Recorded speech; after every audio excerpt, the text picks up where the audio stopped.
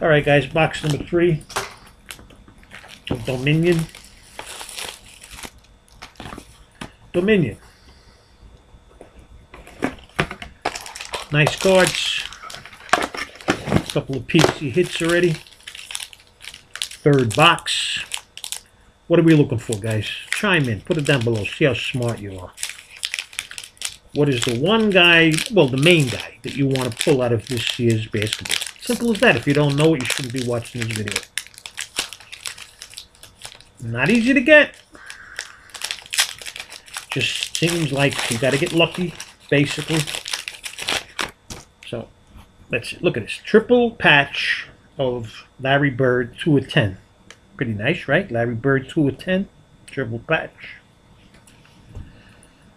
I got an autograph of, who's this? Bruce Brown, rookie.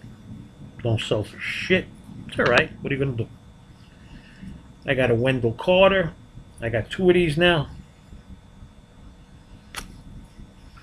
I got a Robert Parish, number to 49, the acetate.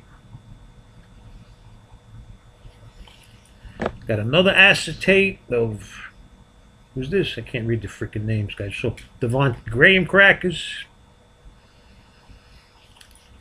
Got my metal card. It's of, I should become a super collector of this guy. Got so many Mo Bambas, the metal.